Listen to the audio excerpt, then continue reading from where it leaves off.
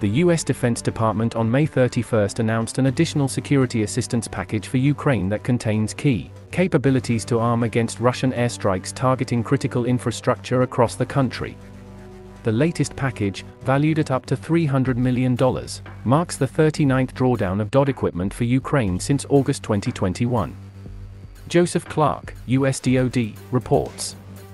Included in the package are additional munitions for Patriot air defense systems, Avenger air defense systems, Stinger anti-aircraft systems and AIM-7 missiles for air defense. The package also includes more artillery and anti-armor capabilities, in addition to precision aerial munitions and other items. The newly announced assistance comes on the heels of Russia's recent drone attacks aimed at Ukraine's civilian infrastructure far from the front lines. Russia has continued to wage a brutal, completely unprovoked war against Ukraine, launching yet more airstrikes and bombarding Ukrainian cities across the country, said National Security Council spokesman John F. Kirby during a briefing at the White House. Russia's recent onslaught included 17 separate air assaults targeting Ukraine's capital, Kiev, in May alone. Those attacks harmed civilians and hit critical civilian infrastructure, Kirby said. In response, the United States is going to continue to help give them things that they need to better defend themselves, he said.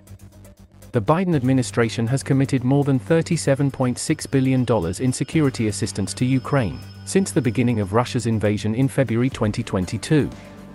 Secretary of Defense Lloyd J.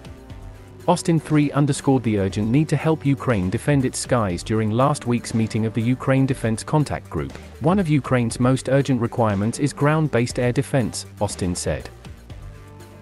And this contact group will continue driving hard to help Ukraine defend the skies. In recent weeks, Russia has intensified its sordid bombardment of Ukrainian cities and infrastructure. And the Kremlin's cruelty only underscores Ukraine's need for a stronger, layered ground based air defense architecture.